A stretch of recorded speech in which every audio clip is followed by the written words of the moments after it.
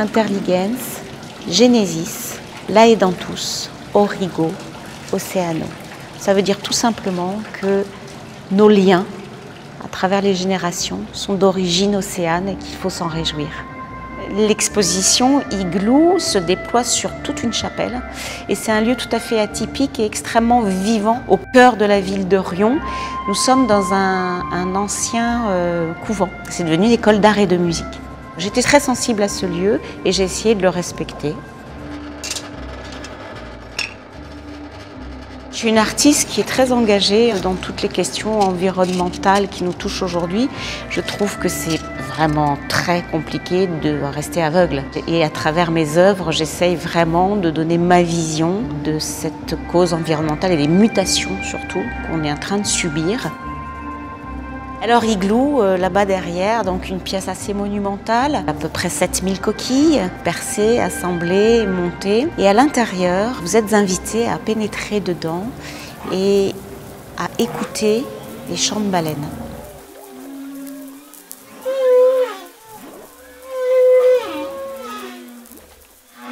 Euh, depuis plusieurs années euh, essayer de, faire entendre ces chants de baleines. Alors il y a, euh, il y a neuf cétacés différents et je voulais que ça nous rapproche de ces, animaux qu'on ne voit pas très rarement. Et alors si on peut le donner à l'entendre, au moins on, peut l'imaginer. C'est drôle parce que la matière, qui est, quand même très très dure, hein, bah, avec la lumière, on a presque l'impression que c'est de la peau. On va dans l'incarnation humaine du plus blanc au, au plus foncé, avec un dégradé. Euh. Et c'est là qu'on se dit qu'on vient de la même planète. Parce que j'ai la même sensation de fraternité avec ça, moi. Je, me sens très coquille Saint-Jacques hein, quand je vois tout ça. Quand je suis arrivée ici avec cette proposition de carte blanche, j'ai demandé ben, pour, qu'est-ce qu'il y a à disposition. Euh. Ben, il y a des vaches, il y a de la paille et il y a des terres. Alors les coquilles Saint-Jacques, pourquoi?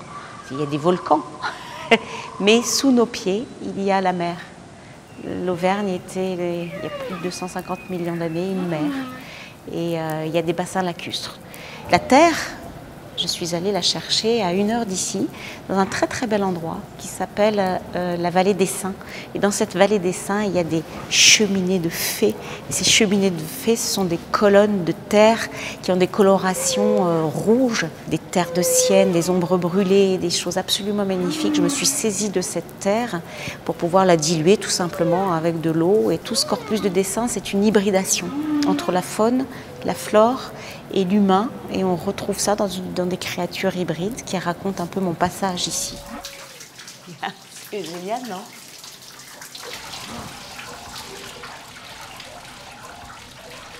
Je fais très attention avec qui euh, je travaille pour en parler justement et pour dire qu'il y a beaucoup de gens qui font des choses formidables.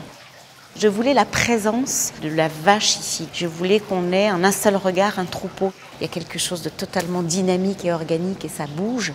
Je la trouve éminemment vivante et très ADN, je trouve, euh, du territoire en fait.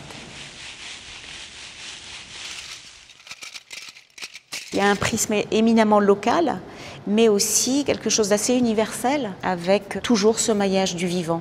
La vision de tout cet ensemble, c'est peut-être de dire euh, regardons ce qui est beau, préservons ce qui est beau, soyons raisonnables.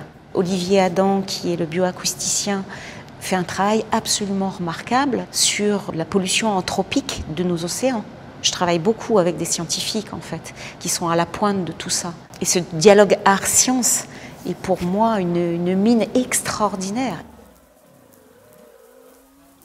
On est hors du temps, là, on est... tout s'arrête. C'est de l'ordre de l'émerveillement pour moi. Et c'est un sentiment qui, qui, est difficile à saisir. L'insouciance et l'émerveillement. Je trouve qu'on manque beaucoup de tout ça. des œuvres comme ça, mais elles, peuvent, euh, elles peuvent apporter ça. Elle met à distance le reste. Et on est, on est là avec elle. Je pense qu'il y aura beaucoup de, regards pétillants. Je fais tout ça pour les regards pétillants, en fait.